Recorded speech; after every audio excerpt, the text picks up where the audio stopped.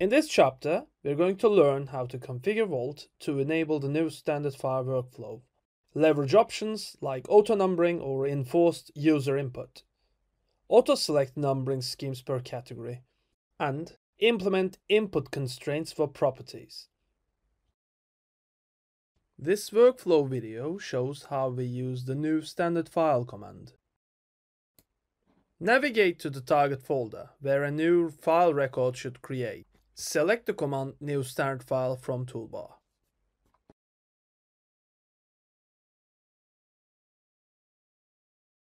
Select Office category and document type Office document.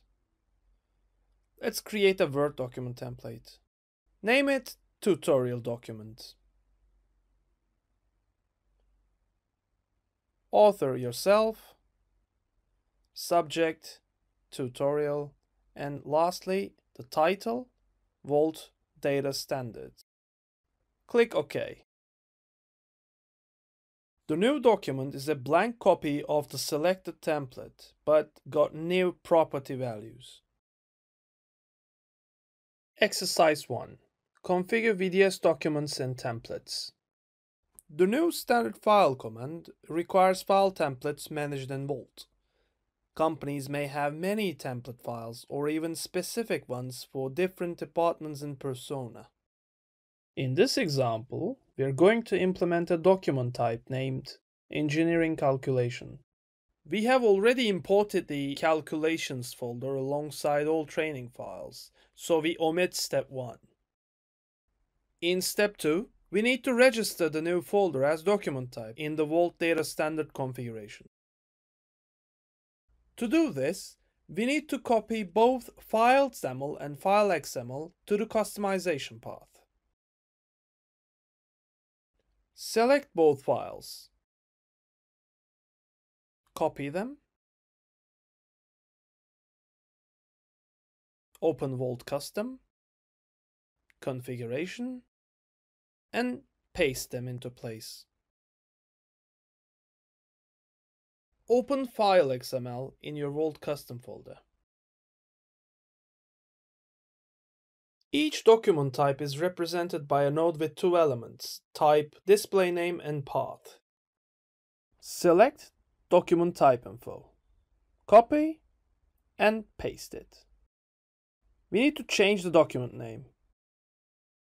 Type Engineering Calculation. Enter the path templates dash calculations. Save the file. Now open the file XAML. In find, type file.xml. We need to change the path for the file XML. Change it to customization folder. Save the file and we're all set. Now, as you create a new standard file, you'll be able to see the new document type engineering calculation. Exercise 2. Enable numbering.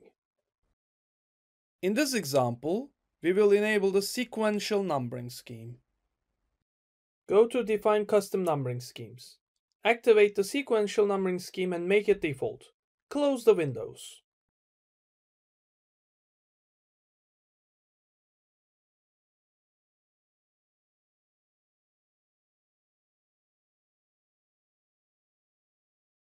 As you create a new standard file, the numbering scheme is automatically aligned to the category.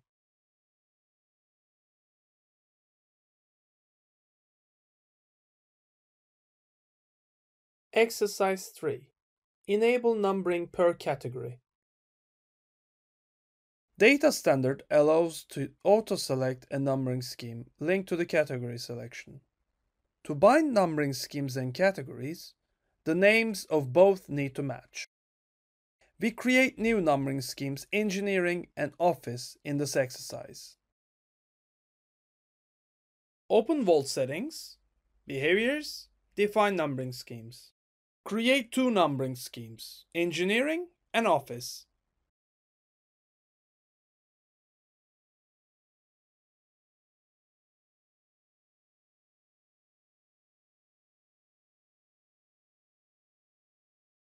As you create a new file, the numbering scheme is automatically selected.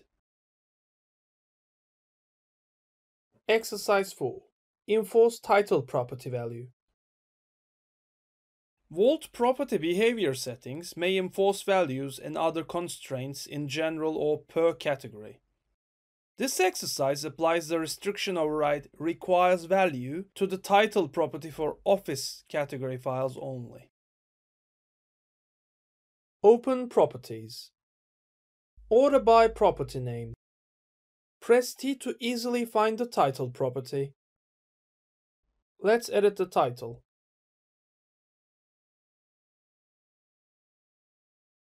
Find the office in category values. Put the requires value to true and override to yes. Click OK. Close the window. And now, as you create a new standard file, when you select the category office, the title value is enforced. In comparison, you can create a file with non-compliant metadata in Vanilla Vault, but Vault Data Standard does not allow you to create a file with non-compliant metadata. More information and insights for programmers are available in the training chapter files.